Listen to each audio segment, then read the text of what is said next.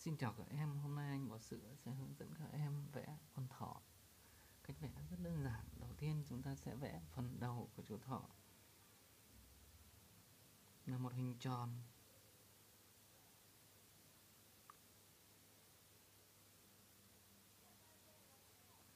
Tiếp theo chúng ta sẽ vẽ ở giữa hình tròn. Chúng ta sẽ vẽ mũi của chú thỏ.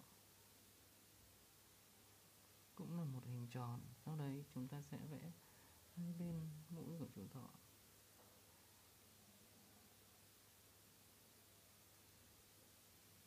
tiếp theo chúng ta sẽ vẽ ba cái râu phần mũi của chú thỏ.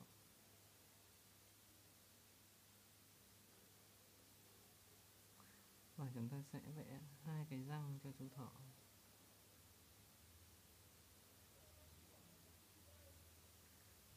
Tiếp theo đấy, ta sẽ vẽ phần mắt cho chú thỏ.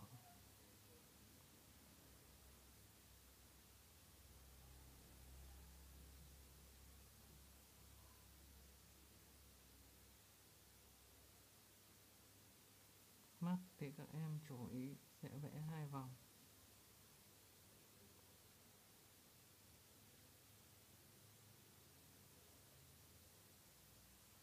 Tiếp theo, chúng ta sẽ vẽ phần hai chân cho chú thỏ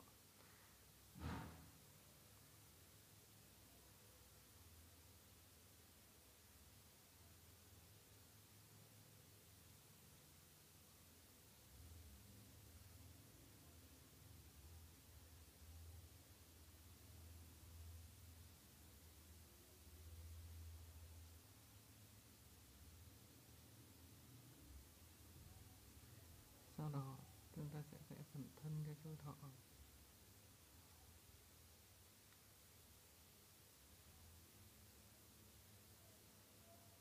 tay của chú thỏ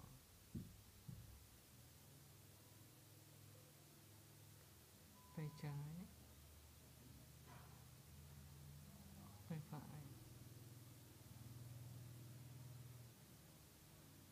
Ta sẽ vẽ hai tay cho chú thỏ nữa.